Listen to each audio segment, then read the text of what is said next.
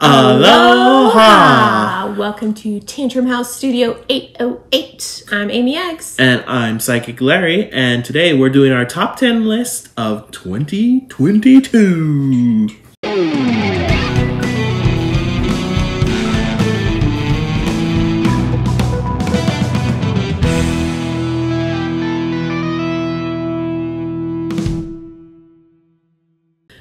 So, in case you're wondering, the guys did a video, the girls did a video. Why weren't we in that video? We're the Rogue Studio. We don't do what everybody else does. We want to do our own thing, go our own way, forge our own trails. Larry, do you want to start us out with your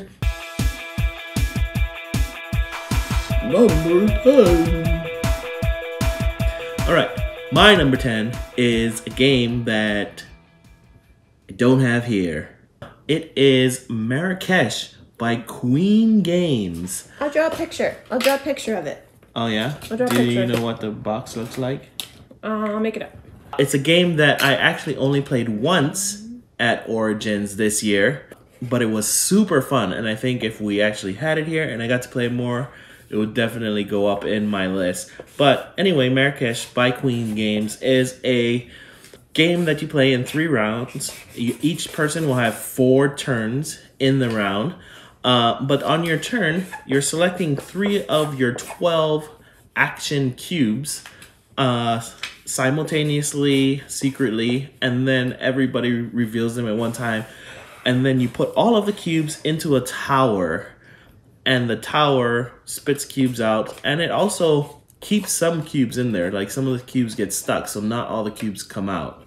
And then you go into a drafting phase where you're drafting these colored cubes, and the cubes actually uh, power up your actions for future turns. And then you go around and take your actions that you previously selected. And basically, you're trying to collect some uh, resources to buy items and try to gain the most points, obviously. But it was a super fun game. I can't wait till we can get a copy here and play it more because it is my number 10, Marrakesh. Oh, wow. Would you look at that? Just like the box. Cheater. What's your number 10? My number 10 is um, chocolate chip cookies. Cookies? Yeah, I did my top my top 10 favorite Christmas cookies instead. It's still a top 10. It fits. It's fine. Do you want a cookie? Yeah, thanks. So my number 10 is chocolate chip cookies. I know they're okay. I don't even know if this is technically a Christmas mm. cookie. You got to put red and green mm. sprinkles on it. And they're only on my list because he loves chocolate chip cookies and I'm like, "Okay, I'll make you them for Christmas." So that is why chocolate chip cookies are my number 10 because I don't consider them actually Christmas cookies. Rude. Number nine. My number nine is a game, a tiny little game in a box called Cat in the Box by Bezier Games. It is a trick taking game where the cards actually don't have any suit colors on top of them. You base the color of the card on the player board that's on the table. It's a little twist on trick taking, and I like it. Cat in the Box by Bezier Games, number nine. My number nine is jam thumbprints. They're covered in walnuts. You basically, yeah, stick your thumb in them before you bake them, and then when you take them out, you kind of just shove some some jelly in there. So that's my number nine, jam thumbprints. Number eight. My number eight is a game we've been waiting for for years. Years, I tell you. Oh, let me get it for you. Oh no! This is Oh, a game called oh Frost my goodness! Haven. It's real heavy. Literally 30 plus pounds in the mail. Uh, we also have the wooden inserts, so it's probably over 40 pounds now. But it would be higher on my list, but I haven't got to play a ton of it yet. It would be higher, but it's so heavy, can't get it up there. It's It's so heavy. Keep talking, please. But yes, this is Frosthaven. If you haven't heard of it, where have you been living? Under a rock? Under a box. My number eight is Spritz cookies. Spritz are like um, butter cookies. You can do them with Crisco as well, but it changes the texture a little bit. Normally, I do Christmas trees and snowflakes and poinsettias, and you color the dough all different colors. But I was cookied out. These were the last ones that I made. I was cookied out at that point, so I was like, "We're doing trees, and that's it." And they all have red sprinkles, and there's no creativity in these cookies at all. But they're delicious, and I love them. Number eight, Spritz. Number seven. My number seven game is a game called The Guild of Merchant Explorers by AEG. A great game with a terrible title. This is a flip and write, uh, which you flip cards and then you write on your pad. Ah, Yeah. brilliant. I like it. There are different maps they have already put out, so lots of replayability, quick to learn. The Guild. That's all it is. Just the Guild. we are renaming the game to the Guild. Uh, my number seven is pecan snowballs. Now, normally, um, these would be pecan crescents, but a friend of mine made these, and I was like, oh, sweet. These are in my list, in my top 10 list, so now I don't have to make them. I can just use the ones that you gave us.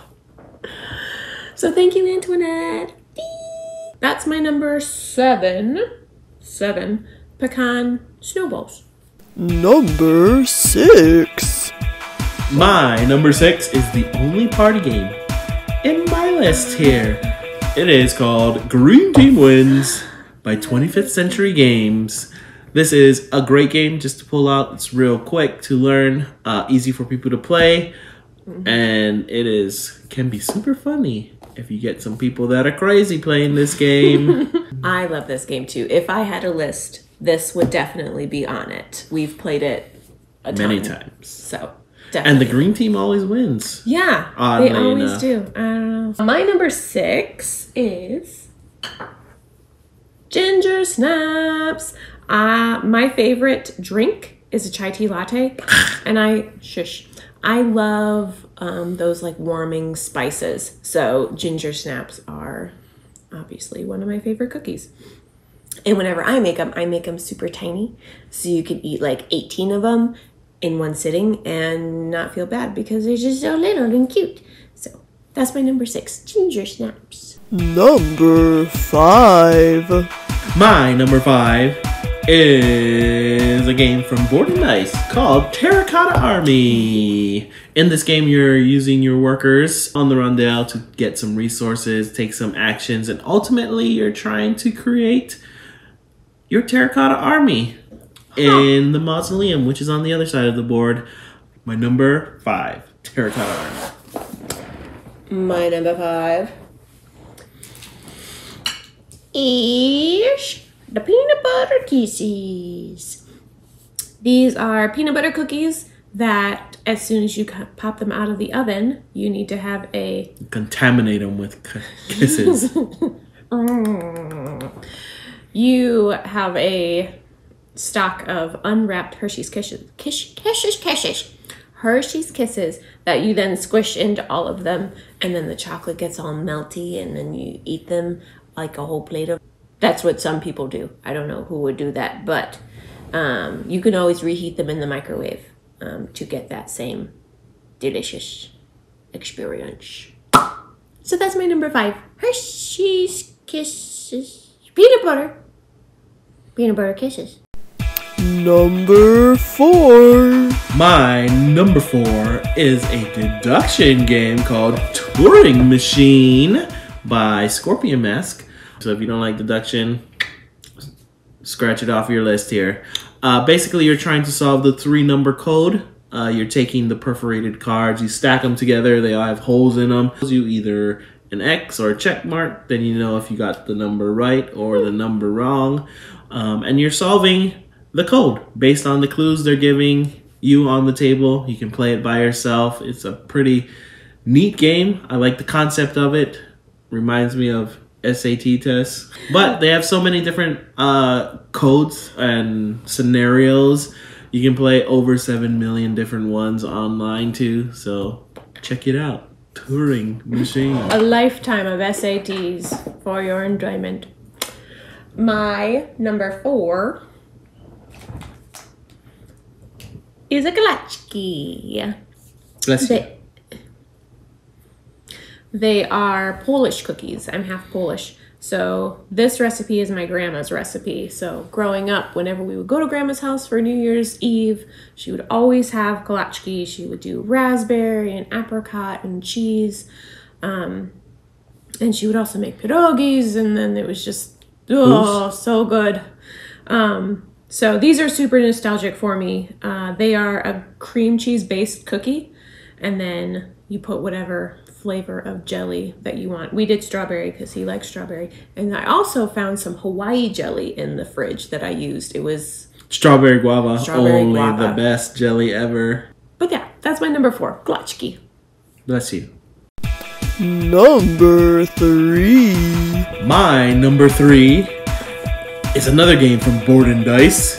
Tiletum. It is a dice game where you are selecting dice, managing your dice uh, in order to do actions on the board as you tour around Europe. Basically, you're going to select the die, and the face up number tells you how many of the resource you get. And then the opposite side of the die would be the power of the action that you would be performing. So it's a kind of cool play on dice there um, and ways to do different things in the game. But I like this game. A little crunchy game with dice. Tiletum. My number three is not a cookie, but still delicious. Not a cookie. fudge. Specifically, peanut fudge mallow. I think that's what we call it. I don't really know. But it's chocolate and peanut butter and marshmallows uh, all melted together into goodness. I have eaten so much of it. This is all that's left of the 8x8 pan that I made. Um, Larry had a piece, Lily probably had several pieces. And I ate the rest. Like literally, I have eaten a pan of this fudge. It is so good, and I will never get sick of it. And that's why it's my number three peanut fudge mallow. Number two. My number two is a colossal game by Forbidden Games called Mosaic. There you go. A story of civilization. This is the Colossal Edition, which is great. You should play with the Colossal Edition. Mosaic is an action selection game uh, where you are trying to build cities, build ports around uh, the map, and trying to get the most influence there. You're also upgrading technologies and doing some some set collection with the different types of technologies. Um, but it's a great little civilization game that you should try out. Here, Mosaic. are you done? Dig it. Oh, my number two. My number two is much lighter than that came. It's a no roll sugar cookie. These are melt in your mouth delicious. They're a butter cookie, and I also didn't make these. My mom started making her Christmas cookies, and these were one of the first ones that she made. And I was like, "Hey, mom, can I borrow some of those so I don't have to make a whole nother batch of cookies?" And she said, "Okay, sure." So these are hers, um, but they're it's the same recipe that I normally make, and they're delicious, and I love them. Number two, no rose sugar cookie. Number one. We have made it to the end. The number one game of 2022. According to him. Ark Nova. Where are you? Ark Nova. Uh, technically, People will point out they came out in 2021. Okay. Technically, it came out in 2021. But who among you had a copy of this in 2021? No one. I dare say. I dare say none of you. It was very hard to get in 2021. Most people got it in 2022, so I'm including it here in 2022. Also, we had a new map pack. So technically, we had new content for this game in 2022. But I love Ark Nova. Uh, you're playing with five cards in front of you. Your five actions. That's all you can do in the whole game. Five different actions. But So it's a quick game. Yes. An easy two and a half hour game. but you're creating your own zoo, building enclosures, adding animals to it, uh, trying to do conservation tasks. That's my number one. What's your favorite animal? Ark Nova. What's your favorite animal? The panda. Mm, so cute. My number one favorite Christmas cookie of 2022 and forever beyond that is, of course, can you guess it? Nope. A cutout cookie. This is. A cookie. Oh, gosh, I was going to say nostalgic. Oh, yes. my mom would make like three batches of this. She would triple the recipe and then she would cover our whole dining room table with wax paper and she would be frosting on one side furiously so the rest of the us kids, me and all my siblings could decorate them all. There was sprinkles flying everywhere and I'm sure it was a huge mess, but we loved it. Every year we would all decorate Christmas cookies together and then we would have all these Tupperware containers full of cutouts and they would be gone in like 2 weeks. But that's like the reason why these are my favorite Christmas cookies because of all the memories that are tied to them. Um, so yeah, my number 1 are poorly decorated cutout cookies. We have Who made it. it? That is our top 10 Cookies. board get list top 10 lists of 2022 we hope you liked it uh if you haven't checked out the other top 10 lists from the guys and the gals on tantrum house channel go ahead and check them out so until next time aloha.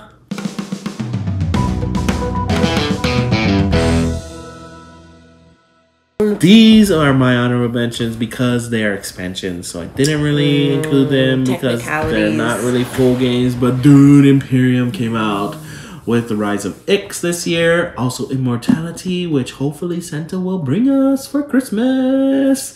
The other one is a a little bigger box. Um, it is uh, the oh oh Everdell, the complete complete collection. Collection. here. Yeah, yeah, it got everything in here. But they came out with the expansions Mistwood and the New Leaf uh, this year, and we just decided to get all of it. But that is my other honorable mention. I also have two honorable mentions. Number one, Little Debbie Christmas tree brownies. There's something about the Christmas tree ones with little ornaments on them that you eat off individually and then you eat down the tree like this. Uh, my other one is Reese's Christmas trees. Mm, yummy. Can we do the video? Can we start the video? Oh. oh, Christmas cookie, oh, Christmas cookie. Tiletum. Tiletum. Tiletum. Tiletum. Tiletum. Deck the halls with mounds of cookies. La, la, la, la, la, la. And a rotel. Rotunda? On a rondelle. Rondelle.